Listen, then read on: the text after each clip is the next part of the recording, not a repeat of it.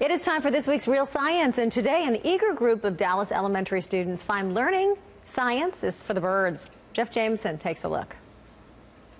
In this Maple Lawn Elementary science class, a lesson on animal survival and adaptation is taking flight. Which bird beak is best adapted to catch and eat the food source that's provided at the station? Whether it's mimicking a pelican, a hummingbird, or a parrot beak, Kenneth Rabago students are learning by doing rather than sitting. I feel a sense of accomplishment at the end of the day when we do something like this and they've got those thoughts and those uh, concepts are clicking and they get it.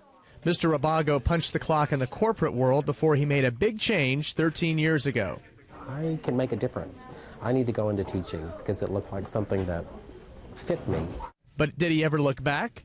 Never look well. Yes, I did. The first year, uh, first year I taught, I did look back. Uh, after the first semester, I nearly went back. He stuck with it even with the challenges of new standardized testing. Mr. Rabago says teaching the scientific concepts is actually the easy part. It's getting the students to go deeper for the STAAR test that's the toughest nut to crack. You actually get to see how the nature feels or see how something works. Because, you know, we're, we're experiencing not, not just reading it or, you know, just seeing pictures. We're actually seeing it, like, like doing it. And the learning doesn't stop with the school year either. We have to study in the summer for next year, sixth grade. So you have to study in the summer? That's pretty big, isn't it? Yeah. Are you ready to study this summer? Yeah. Are you going to study this summer? Uh-huh. Okay. Adapting to sixth grade and beyond, these students are ready to soar to new heights. Jeff Jameson, CBS 11 News. Really? He's going to study over the Uh, summer? we'll see.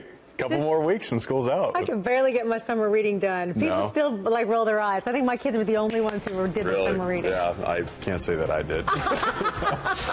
Still look at and look The at science books I read, Look yeah. at him now.